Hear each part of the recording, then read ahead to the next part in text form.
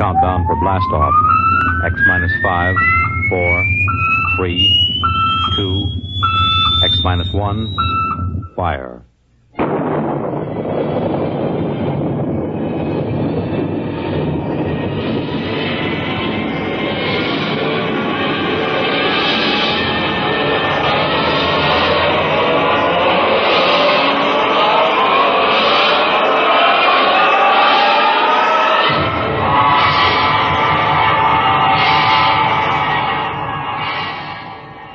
Far horizons of the unknown come transcribed tales of new dimensions in time and space. These are stories of the future, adventures in which you'll live in a million could be years on a thousand maybe worlds. The National Broadcasting Company, in cooperation with Street and Smith, publishers of astounding science fiction, presents X, X, X, X, X, minus, minus, minus, minus, minus, one, one, one, one.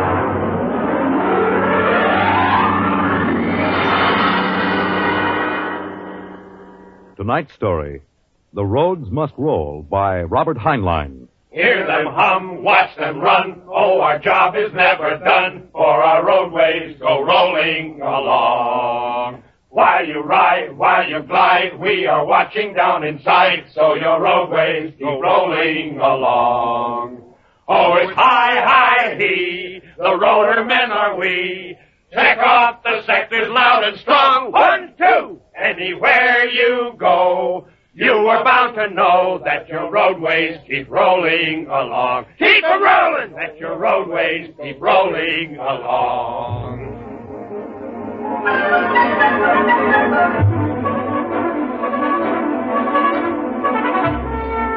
It was in the middle 1950s that the automotive age began to die. The traffic engineers had long expected it. For years, they had watched our vast cities sprawl and spread out, spill over into the countryside, become more and more dependent on motor transportation. And then finally, the inevitable breaking point was reached. The growing flood of cars and buses and trucks began to swamp the streets and arterial highways. The building of roads could no longer keep pace. The superhighways clogged, congested, became packed with cars stalled bumper to bumper. And the cities began to die of slow strangulation, where the traffic could no longer roll. And then the engineers took over. They banned the automobiles, tore up the superhighways, and in their place they built the rolling roads. Mechanized roads that moved like huge conveyor belts, whirling along on their giant rotors at speeds ranging from 5 to 100 miles an hour, carrying the freight, the food, and the people from city to city and coast to coast. And no one worried over the fact that if the road should ever stop, our whole economic life would stop. For the machinery had never failed yet. But people forgot that machinery depends on men. The men who run it. Who makes the roads roll? We do! We do! That's right, the engineers. We're the brains of the road. And where would the public be if we didn't keep the roads rolling? Right behind the eight ball, and everybody knows it. All right then. We're the men who hold the power, and it's time we started using it. We've called this meeting of the Engineers Control Committee because that's what we want to do. Control. Because I'm tired of taking orders from the Transport Commission from slick desk jockeys like Jim Gaines who don't even know a rotor bearing from a field corn. Now let Gaines yammer about our duty to the public. That's a lot of eyewash. We've got the power, and we're the men that count. Now, It's time we quit fiddling around and use a little direct action to get what we want. Mr. Chairman! Mr. Chairman! The chair recognizes Brother Harvey of the Transport Mechanics Union. Thanks. Thanks. Now, I don't really belong here since I'm no engineer. I'm just here to represent the workers' union. But I want to know what's all the shouting for. You engineers have got better working conditions than we have. And we ain't kicking. You say the engineers are powerful. You say you can tie up the roads. Well, so can any screwball with a jar of nitroglycerin. And he wouldn't need no engineer's degree to do it, neither. Harvey! Harvey, are you speaking for your union now, or are you here as a stooge for the Transport Commission? Listen, Van Cleek. I helped fund my union. I led the strike in 75 for decent working conditions. Where were you engineers then? With the thief! Oh, Brother Harvey! Brother Harvey, remember, you're only a guest at this meeting. Go on, Van. Now listen, men. I'm one of the old engineers on the roads. You all are, worked up the hard way. We didn't go to the fancy technical institutes like those young punk cadet engineers the commissioner's training to take over our jobs unless we do something to stop them. Jim Gaines hasn't been able to fill us full of the old school spirit and, the, and that baloney about how the, the roads must roll. So all right then. Why don't we get smart for a change? What would happen if the roads stopped rolling? Maybe the country would begin to realize that they can't do it without us. Maybe we'd begin to get the things we want. Who says the roads must roll?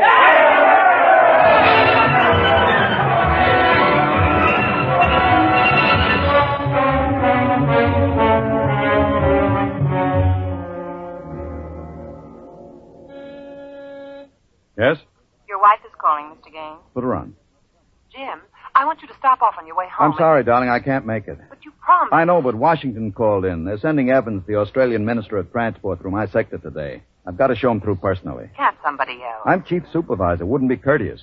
Courtesy begins at home. I've planned this dinner for weeks. Honey, the roads must roll. Oh, if you quote that nauseating slogan at me again, I'll divorce you. I can't help it, darling. I'll meet you at Stockton at nine and we'll take in a show. Kiss Alan goodnight for me. Well, all right. Goodbye. Goodbye. Mr. Evans is here. Show him in.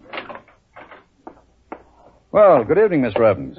I'm Gaines, chief engineer. How do you do, Mr. Gaines? They told me at the embassy you'd be the man to see. I, uh, I want to know how the roads work. I think we can handle that. Well, I'm not a technical man, Mr. Gaines. My field is sociology. So, suppose you tell me about the roads as if I were entirely ignorant. Fine. It's uh, nearly dinner time. Uh, suppose we run up to Stockton sector for dinner. It'll take us about an hour on the roads, and you can see them working. Excellent. If you'll excuse me a minute. Certainly. Hi, Chief. What can I do for you? Uh, Dave, you're on evening watch, eh? Uh-huh. Uh, where's Van Cleek? Going to some meeting. I'm going up to Stockton for dinner. Anything to report? No, sir. The roads are rolling. Okay. Keep 'em rolling. All right, Mr. Evans. Let's go.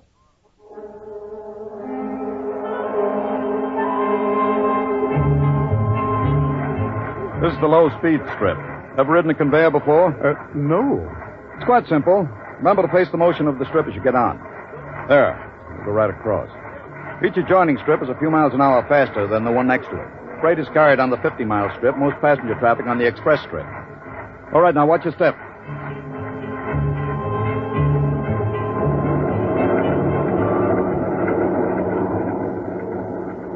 Here we are, the maximum speed. 100 miles an hour. It doesn't seem possible. This trip makes the round trip San Diego to Reno in 12 hours. Ready to eat? Uh, is this the restaurant? Jake's Steakhouse. Fastest meal on the road. Uh, is it really a proper restaurant? One of the best. Shall we go in? Hello, Mr. Gaines. We don't see you much out on the road. Busy in the office, Jake. Two? Right this way. What'll it be? You order. Well, how about a steak? Two inches thick from a steer that died happy. Fine, fine. Uh, plug me in the phone, will you? There's one right next to you. Flank two, rare. You'll excuse me, Mr. Evans? Certainly. Davidson on watch. This is the chief. I'm at Jake's Steakhouse. You can reach me at 10L66. 10L66, right. Yeah. Now they can get hold of me in an emergency. Oh? What kind of emergency could there be? Two, principally. Power failure on the rotors would bring the road to a standstill. That happened during rush hour. We'd have to evacuate millions of people from the road. As many as that? Easily. There are 12 million people dependent on this section of road. Gaines here. Hello, Chief Davidson. Just got the hourly reports in. Diego Circle, Bakersfield Sector, Stockton Sector, and Reno Circle all rolling. Oh, you didn't have to bother me with the hourlies, Dave. There's a supplementary from Sacramento. Proceed. Cadet Engineer Gunther, while on watch, was found playing cards with C.J. Ross, technician on duty. Any damage? One rotor running hot, but still synchronized. Was jacked down and replaced. All right, have the paymaster give Ross his time and turn him over to civil authorities. Place Cadet Gunther under arrest and bring him to Rotown Central. Yes, sir. All right. Keep him rolling. I was saying there were two possibilities of danger. Can you visualize what would happen if the strip under us would break? Oh, I, I hadn't thought of that. You, you don't realize you're traveling at 100 miles an hour. Well, it can't. Not now. The strip has a safety factor of over 12 to 1. It'd take a blowout of several miles of rotors and a failure of circuit breakers before the strip could part. But it happened once in the early days on the Philadelphia Jersey City road. The strip wasn't much more than a conveyor belt. It buckled for miles, crushing passengers against the roof. Forward section in front of the brake spilled them down under into the rotors and rollers. Oh. Was it very bad? Over 3,000 people were killed in that break. But the roads had to go on. The entire economic system hangs on the roads. If they stopped now, the country would starve. Well, uh, isn't it possible that you've become too dependent on these roads?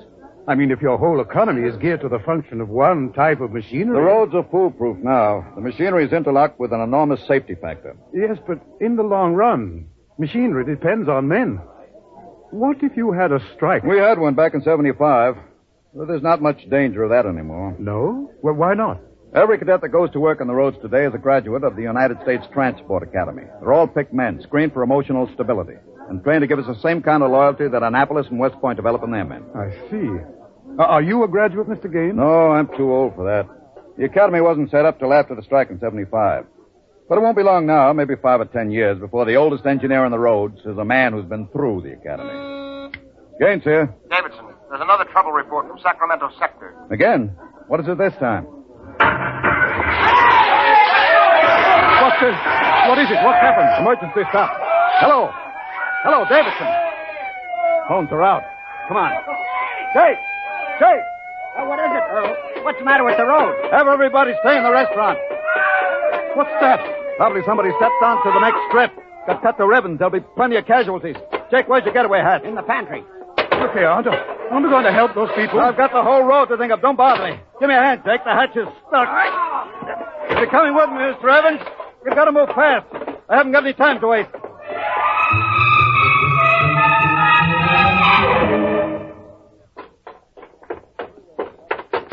Where, uh, uh, where are we now? Freeway on top of the inner road ceiling.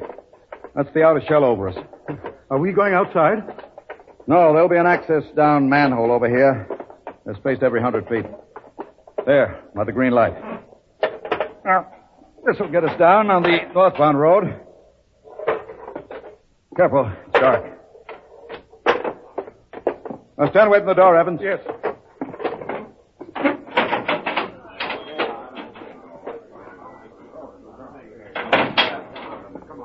But, uh, this road is still rolling. It was only the hundred mile strip that stopped.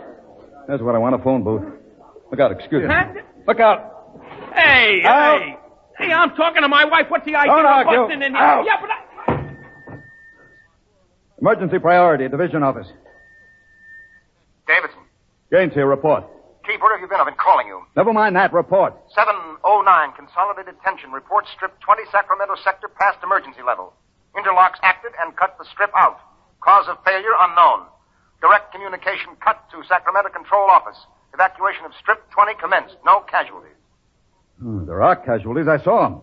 Put police and hospital routine A into operation. Get me Van Cleek. I want him to take over for me till I report in. We can't reach him, Chief. Shall I cut out the rest of the road? No. Keep those other strips rolling or we'll have a traffic jam the devil himself couldn't untangle.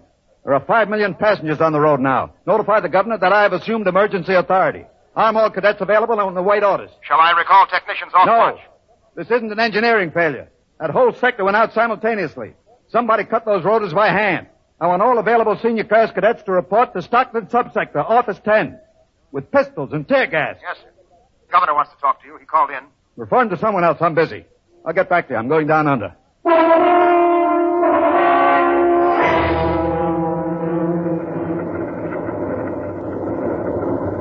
Evans!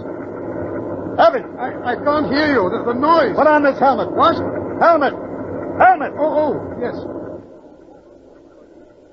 You can't hear without an anti-noise filter. Come on. Uh, what are we looking for? A for? recon car. There should be one here. Uh, uh, are those the rotors? Now, the big ones are rotors. They drive the road. The little ones are rollers. They give continuous support. There's a watch gang now, jacking down a rotor. Can they hear us? No, the noise filter works on a four-foot radius. I'll flash him. Now, he sees the light. Cadet Wilson reporting, sir. I want your recon car, emergency. Yes, sir. Right over here, sir. Come on, Evans. Yes. Well, get in. But it's so small. You'll fit all right.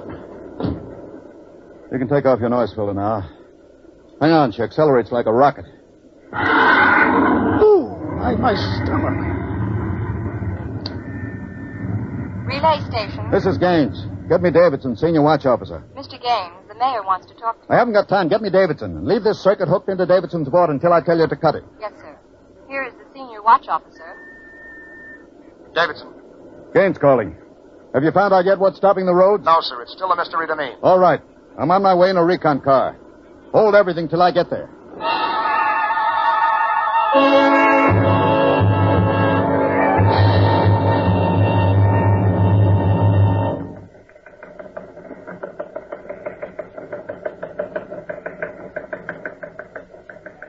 Cadet Edmonds reporting, sir. Three platoons of cadet engineers standing by with tumblebug motorcycles. Armed? Pistols and tear gas as ordered, sir. Good. Assistant Supervisor Van Cleek is calling you on Circuit 9, sir. Van Cleek. It's about time. Cut me in. Yes, sir. Hello, Van. Where are you? Sacramento office. Now listen, Sacramento. That's good report. in a pig's eye. What? I'm not your deputy anymore, Gaines. What are you talking about? Listen, don't interrupt me and you'll find out. You're through, Gaines. I've been picked as director of the Engineers Control Committee. We're taking over. Have you gone off your roller? We stopped Strip 20 just to give you a taste of what we can do. We're running things now. And you don't really think you can get away with this? You can't start Strip 20 until I'm ready to let you. I can stop the whole road if I have to. Van Cleek I'll call in the Army. How will you get 'em here if the roads aren't rolling? Now listen, Gaines. Whoever controls the roads controls the country. And right now, that happens to be me. Now sign off, Gaines. Gotta call the White House. You behave yourself and you won't get hurt. I don't believe it, sir. He's got us, Edmonds. We go in and blast him out. He may wreck the road. What's your rolling tonnage now? 53% under evening peak, sir. How about strip 20? Almost evacuated. Listen in on this, Davidson. Standing by, Chief. I'm going down inside with these cadets. We'll work north, overcoming any resistance that we may meet. The watch technicians and maintenance crews are to follow behind us. Each rotor, as they come to it, is to be cut out from under Sacramento's control, then hooked into the Stockton control board. Understand? Got it. Check. If it works right, we can move control of Sacramento sector right out from under Vance's feet. And he can stay in his office there till he's hungry enough to be reasonable. Edmonds, get me a pistol. Yes. Mr. Gaines, there's a man here. He's badly hurt. He wants to see you. Take care of him. I haven't got time. He's from Sacramento sector. What? Bring him in. All right. Easy. Come on. Easy. Mr. Gaines, You're Harvey from the Mechanics Union, aren't you? I tried to warn you. I tried to get away. He shot me three times. Get a doctor. All right. Easy, Harvey. How long has this been building up? Is it the men? It's, it's the engineers. I told them they were crazy. Told them the road's got to roll. When I tried to get away, they. He's bleeding from the mouth, sir. Harvey. Harvey, can you hear me? He's dead, Mr. Gaines. Come on, Edmonds. We'd better move. Hey, All right, you men. You saw Harvey brought in. How many of you want a chance to kill the last that did it? Very well. You men turn in your weapons and return to quarters. We've got a job to do. To make sure the roads start rolling again. We haven't got time for infantile heroics. Anybody who hasn't got his mind on his job will be in the way. Now here's the order. We move north mounted on tumblebugs. We're going to try to regain control rotor by rotor before Sacramento sector knows we're moving. We've got to capture any watch personnel we run on before they can get word back. Surprise is vital. Use tear gas when possible. Shoot only when necessary. But get them before they can reach a phone jack. Any questions? No. Then move out.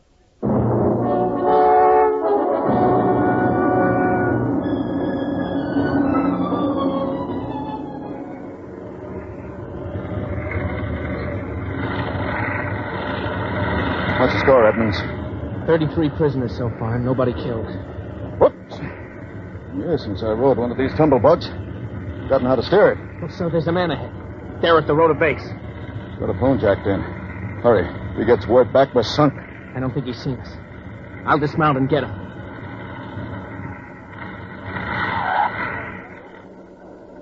Quick, he sees us. Here, you. Look out, he's got a gun. Oh, I got him. Grab his gun. Yes. You had a phone jacked in all right. We got through to Sacramento office. It's going to be tough. I don't know, sir. Maybe he didn't get the call through. Wait a minute. Listen. The road. Pick up your noise filter. There.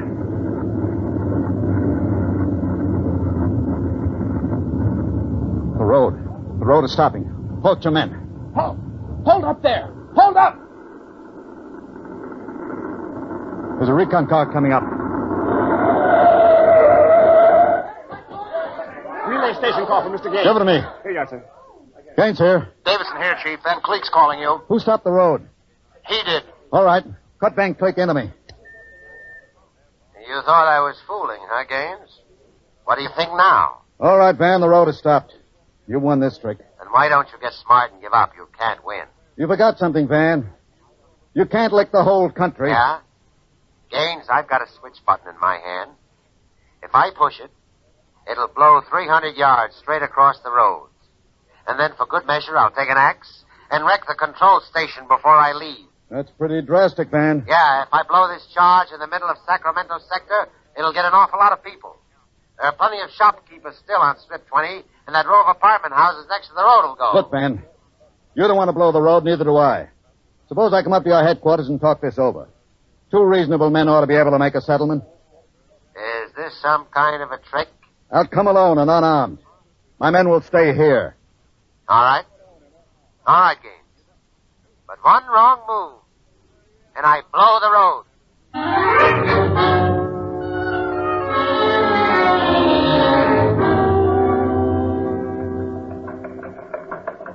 We've got to hurry, Dave. If I take too long, Van Cleek will get edgy and set off that charge. Failure report notes. One, strips must be cross-connected with safety interlocks, so that when one dies, the others slow down. Two, the men. Oh, I can't understand it. Psych tests are rigid. We've never had a failure in the Hum Wadsworth Burton method. And then suddenly a whole sector goes sour. How could Van Cleek get a whole crew of psych cleared men to revolt? It's easy, Dave. As my deputy, he was ex officio personnel officer for the whole road. He must have been faking psych records for years and transferring maladjusted men into his sector. I've got that personnel record, Mr. Gaines. Man's record. Masked introvert. Inferiority rating seven. Comment. Despite a potential instability shown on Wadsworth curve, this officer is especially adept in handling men. He's adept, all right. I haven't got time for any more, Dave. You're not going up there to Sacramento office. I've got to. He'll be armed. He'll kill you. I've got to take that chance. But unarmed? Why don't you call in the army? He won't dare blow the road. Yes, he would. Look at that psych record. He's putting up a big, brave front, but he's rotten inside. He wants to be taken seriously. He wants everybody to think he's the most dangerous man in the country. And if I call the army in, he'll try to prove it by blowing the road. How can you stop him, Mr. Gaines? He'll have a gun. What'll you have? What'll I have? Only a prayer. And what I know about Mr. Van Cleek.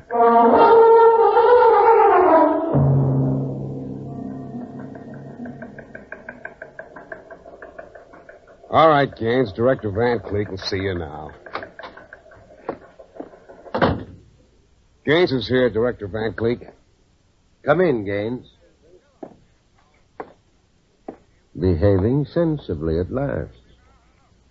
You know I've got you where I want you, and there isn't anything you can do about it. I searched him, Director. He's unarmed. Mhm. I want you to sign this now. It's a declaration of your recognition of the Engineers Control Committee. You've got one minute to sign it, Gaines, or I'll push this button and blow up the whole sector. You better sign, Gaines. You need this gorilla with the gun, Van? Hey, you Can't you handle one unarmed man alone? All right, Harry, out. What? Out. Yeah. Okay. All right. Now sign. What's so funny? You are. You start a revolution because you think the engineers should control the road. Then when you've got control, the only thing you can think of to do is blow it up. Tell me, what are you so scared of? I'm not scared. Yeah?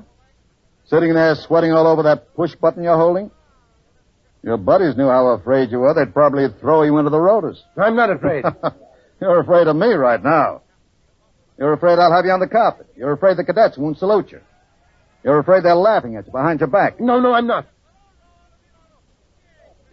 Now, now, you keep quiet. I've got a gun. You're afraid of using the wrong fork at dinner. You're afraid people are looking at you, laughing at you. I am not you. You, you dirty, stuck-up snob.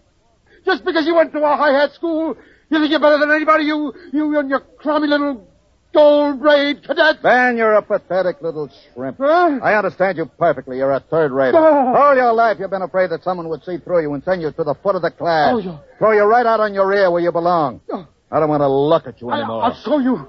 I'll put a bullet in Put you. down that pop gun before you hurt yourself. Don't you come near me.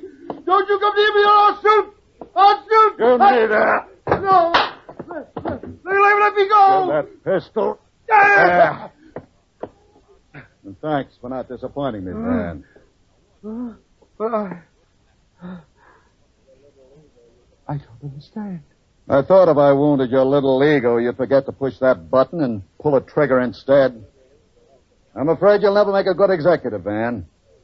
They have to know when to push buttons. Davidson, Gaines here. Chief, are you all right? Are you? I'm all right. Attack now and mop up. I'll hold the control room. I've got Van Cleek, and I think his little revolution is just about over.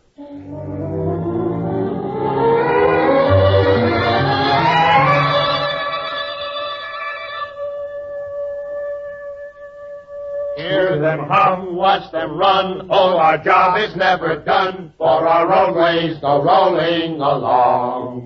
While you ride, while you glide, we are watching down inside, so your roadways keep rolling along. Mr. Gaines. Oh, Mr. Gaines. Hi, hi, Mr. Evans, I forgot about you. Yes, I've been waiting at the sector office.